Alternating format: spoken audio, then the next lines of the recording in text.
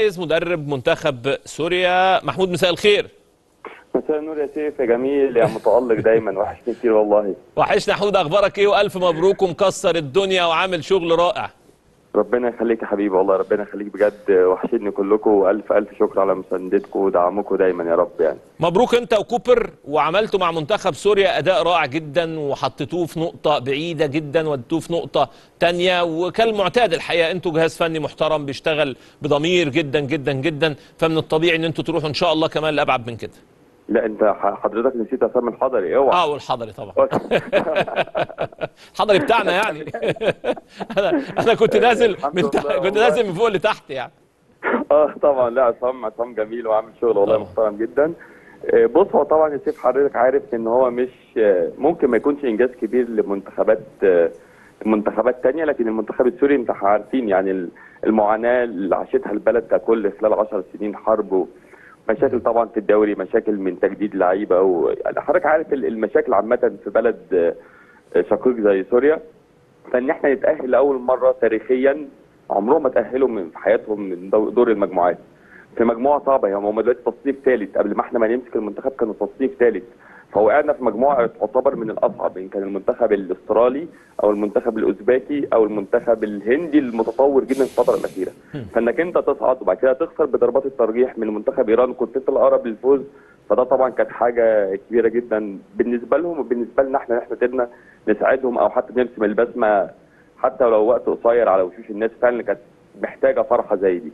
الحاجة الوحيدة اللي إحنا تقريبا بنعرف نعملها هي كرة القدم يعني. طبعا. عمر السومة خلاص قرار استبعاده نهائي؟ والله يا سيف حضرتك عارف مستر كوبر عامة هو عامة يعني هو بيفكر دايما ما فيش حد أهم من المنتخب. يعني هو بالنسبة له منتخب سوريا أو كان منتخب مصر أو كان المنتخب الأوزبكي قبل كده هو أهم من أي حد. ممكن النهاردة أنت ما تكونش موجود ممكن في المستقبل تكون موجود وما فيش حاجة اسمها استبعاد نهائي من المنتخب. في الفترة ال- الأخيرة كان مستر كوبر محتاج آه، نوعية تانية تجديد دماء. فما كنش ما كانش ليه دور في بطولة آسيا. فمستر كوبر ما تمش استبعاده. فإنما الباب مقفول في وشه على طول والكلام ده. لا طبعا يعني كلام كتير طلع وكلام كتير كتير اتقال لكن لا هو قرار فني بحت يعني. احلامكم طموحاتكم اللي جاية مع مع منتخب سوريا؟ والله بص هو إحنا عدينا خلص آه، من يومين. ف... فلسه كده واخدين فترة آه، راحة. وإن شاء الله بإذن الله يعني هنشوف العروض اللي متقدمة لمستر كوبر. طبعا مستر كوبر حط الأولوية للمنتخب السوري. الناس محترمين جدا ومشكورين جدا. حابيننا كلنا وعايزيننا نكمل. فإن شاء الله في الفترة ثلاث أربع أيام كده هنحاول إن إحنا ناخد قرارنا يعني. لكن لو إحنا كملنا إن شاء الله بإذن الله لأ إحنا في مسيرتنا عايزين نبني منتخب جديد. جايبين لعيبة كلهم شباب كلهم لعيبة صغيرين. ولعيبة حتى الحمد لله قدرنا إن إحنا نجيب لعيبة أجدادهم كلها أصولهم سورية من الأرجنتين ومن ومن كولومبيا. فماشيين على الخط إن إحنا نعمل منتخب جديد يقدر متطور يقدر إن هو. آه، يواجه المنتخبات القوية في آسيا ويحاول يوصل كأس العالم إن شاء الله بإذن الله محمود محمود الأسود تواصل معاك إدارة الزمالك فيه للسؤال عنه آه آه طبعا هم كلموني سألوني عنه طبعا بالنسبة للجانب الفني نادي الزمالك عنده scou... عنده team scouting محترم جدا تابع الولد خلال بطولة آسيا فهم كانوا بيسألوا على بقية التفاصيل بقى إنسانيا الولد إيه أخباره إيه اخباره ممكن يتأقلم ولا مش ممكن يتأقلم؟ بمعرفتنا إن إحنا عارفين يعني طبيعة اللاعب العربي وكده. فلا الولد محترم جدا كويس جدا بني آدم على ذو خلق يعني. آه، أعتقد عنده الحماس عنده الطموح عنده عنده حاجة يعني. هو ولد صغير عنده 19 تقريبا هيكمل 20 سنة. ف والجانب الفني لا مستر كوبر لعبه الأربع ماتشات كلنا وثقنا فيه رغم سنه الصغير رغم إنها بطولة كبيرة وقصاد أستراليا وقصاد إيران لعب و... ولعب بشكل كويس جدا معانا. ف... فممكن يكون طبعا إضافة كبيرة. فكابتن أحمد سليمان كلمني سألنا عنه كلم برضه كابتن عصام الحضري. فقلنا له حكينا له على الولد بالظبط وإيه نظامه في الملعب و... وطريقة لعبه وحتى كبني آدم كإنسان يقدر يتأقلم بسرعة أو لا فحكينا له شوية تفاصيل كده. وإن شاء الله ربنا يوفق المحمود ويوفق نادي الزمالك يعني لو كان توصلوا اتفاق يعني. عصام الحضري قدم اوراق اعتماده كمدرب حراس كبير. والله كبير جدا يا جماعة والله يعني. أنا أنا أنا أنا دايما كنت بفكر الحضري فعلا هو يعني هو هدف عنده هدف دايما عنده شغف وروح وحماسه عايز دايما يبقى رقم واحد. وهو فعلا أنا شايفه ده في حتى في تدريب حراسة المرمى عامل شغل خرافي يا جماعة والله بجد. أنا فاجئنا فاجئنا كلنا مش بس حماس وروح بقى آه لا لا الراجل على علم وراح خد شهاداته وبيتمرن وبيروح ويقعد ويسمع للمدربين التانيين ويتعلم منهم.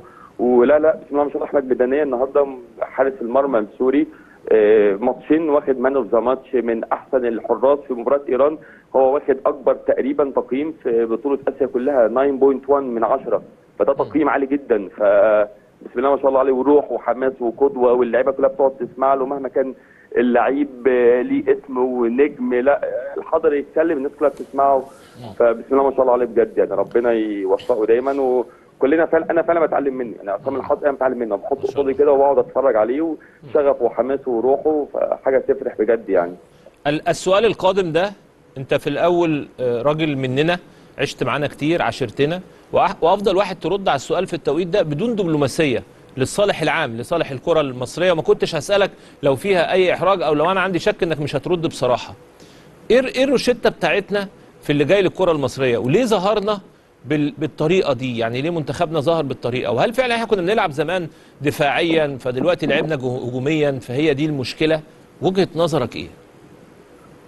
آه يعني هو سؤال كبير وإجابته طويلة لو هنختصرها بشكل سريع. إحنا قلبين الهرم. يعني إيه بمعنى قلبين الهرم؟ يعني إحنا حاطين كل الحمل على المدرب أو المدير الفني اللي جاي هو ده المسؤول عن كل حاجة. ولكن هرجع واقول لك تاني يا كابتن سيف حضرتك كنت معانا في معسكرات كتير جدا. هو اللعيب بيجي لنا ثلاث أيام وبتلعب مباراة. أنا النهارده لو أنتوا عايزين تلعبوا كرة كويسة أو كرة build up من تحت وطلوع من تحت أنا كمدرب منتخب هقدر أعملها إزاي؟ يعني احسبها لي كده في ثلاث أيام أنا أقدر إزاي ابني لاعب أو شخصية لاعب تعمل build up من تحت من حراسة المرمى لل two center backs لل back اليمين. يعني أنا بديك مثال واحد في جزء من أجزاء كرة القدم اللي هي ال- الأسهل. أنت بتلعب long ball أو الناس تلوك أنت ليه أنت طالع بالكورة بيتضغط عليك والكورة تتقطع فأنت مش عارف تعمل build up فأرجع أقول لك تاني في بعض اللاعبين أو في بعض أساسيات كرة القدم هي فعلا مش موجودة. أنا أنا مش نقدا للعيب. هو اللعيب يعني عنده موهبة كبيرة جدا. لكن في حاجات محتاجة وقت علشان تكتسب. آه. هيكتسبها إمتى مع مدرب منتخب؟ دي الحاجات دي كلها بتت... بتؤسس فيه آه. من هو عنده 10 و11 و12 سنة. انت انت, عايز. انت عايز تقول يا محمود إن في في لعيبة بتيجي من الأندية بتاعتها ما عندهاش أساسيات كرة القدم. أنا خلي في علمك أنا مش قصدي أعيب في اللاعب. لا لا لا, لا لعيب إحنا أنا خ... اطلع اطلع من الحته بتاعت الحساسيات أنا عايز أنا عايز الصح أنا عايز ال- العلاج. حقيقه آه يعني هو اللعيب عنده موهبة كبيرة جدا لكن للأسف في حاجات صغيرة جدا في كرة القدم الباص وتتحرك دي هي مش موجودة عند عندنا في ال يعني في المنت... في, الم... في الم- في الماتشات اللي فاتت كلها الباص وتتحرك دي مش موجودة. تلعب لونج بول وتطلع بره عشان التسلل مش موجودة. أنا بكلمك أساسيات موجودة في أي لعيب كرة قدم. النهارده علشان تختار مجموعة من اللاعبين وتقدر تعمل منتخب قوي طب إيه اللي إحنا عملناه عشان ناخد منتخب قوي؟ طب بص في الدوري بتاعك بيبرز لك لاعبين فعلا قادرين هم ينافسوا ولا لعيبة بتطلع بشكل آه، مش هقول لك عشوائي بتطلع بشكل فجائي. لعيب يطلع مثلا من كل قطاعات ناشئين أهلي أو زمالك. اثنين ثلاث لعيبة بالكثير قوي. يا ترى الدوري بتاعك هيفرز لك لاعبين يقدروا يمثلوا منتخب مصر لخمس سنين ست سنين قدام. طب يا ترى المنتخب الأول خد لعيبة من من الأولمبي عشان تقدر تقول إنك تعتمد عليهم عشان تبني منتخب ل 2026 لا. طب أنت عندك مجموعة من المحترفين معديين ال 15 لعيب تقدر ترتكز عليهم وتبني بيهم منتخب قوي؟ لا. طب إحنا آه، إيه الأسهل؟ نروح نهاجم المدرب. رغم إن مستر فيتوريا عمل مشاكل كتير جدا في المنتخب وتحس إن الراجل يعني كان مخضوض وأول مرة إيه يروح أفريقيا ويلعب وممكن ما يكونش كان معاه حد مصري مع احترامي كبير لكابتن أيمن عبد العزيز. أخ عزيز وحبيبي وكل حاجة.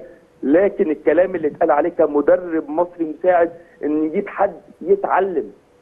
وساعات يطلعوا المدرجات. لا يا مستر فيتوريا لا لا لا معلش أنا آسف.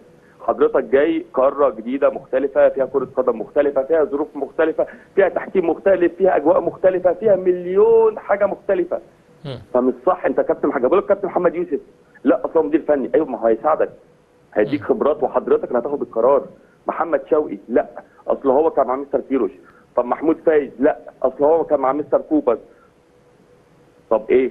انت جبت شوية شباب برتغاليين معاك زي الفل وخبرات جميلة وكل حاجة. لكن في أوروبا لما جه الاختبار الحقيقي يعني تحس إن الناس يعني مخضوضة.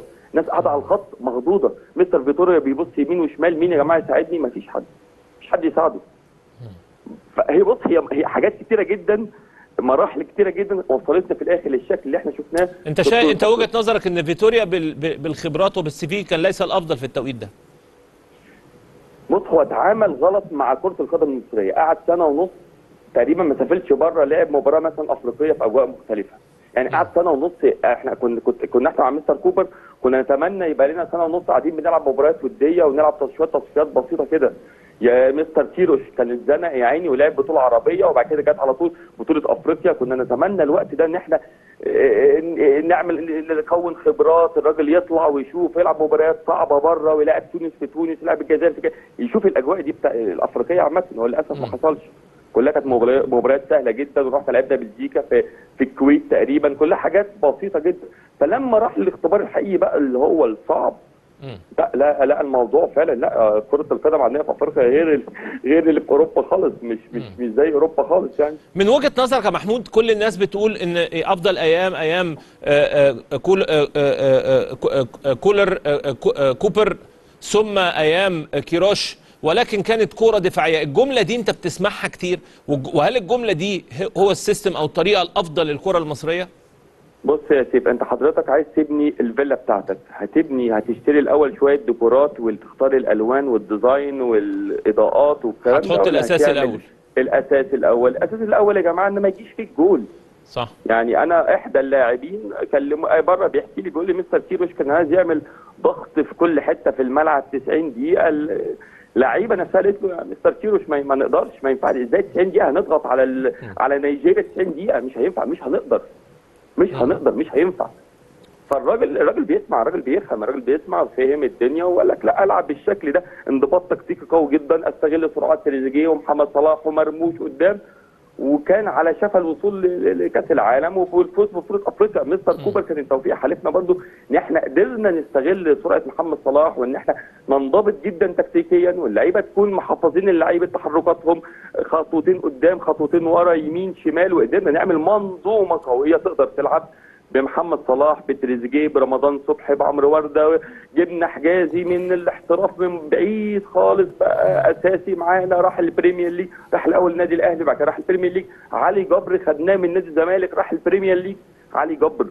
كان عندنا حماده طلبة خدناه back شمال. عملنا حاولنا نعمل منظومة تقدر تحقق الأهداف. ما هو ده الهدف الأول. أنا النهارده ارجع أقول لحضرتك تاني أنا كمستر كوبر أو مستر كيروش أو مستر فيتوريا أقدر إزاي اكون لعيب؟ أنا مش هقدر ان دي ده شغل النادي.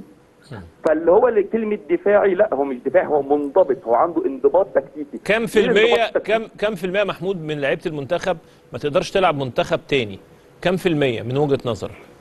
بص ما بص أنا برضه بدون بدون بدون. بدون ذكر أسامي يعني قصدي والله مش هقول أسماء ولا حاجة لكن آه. في ده منتخب يعني إيه منتخب يعني الصفوة في الدوري المصري أو الصفوة من المصريين بمعنى مم. أنا النهارده يا سيدي ما هو في ما هو في ما هو في محترفين كمان الله ينور عليك ما أنا بتكلم بقى ما النهارده آه، عمر مرموش مستواه آه. ابتدى يقل ما بقاش يلعب ومش ماشي كويس جاي من إصابة ماخدوش النهارده ماخدوش وبعد كده هيرجع هيرجع لي تاني المنتخب آه. كام في المية إحنا بنتكلم في المطلق صعب قوي نتكلم في المطلق يا كابتن سيف.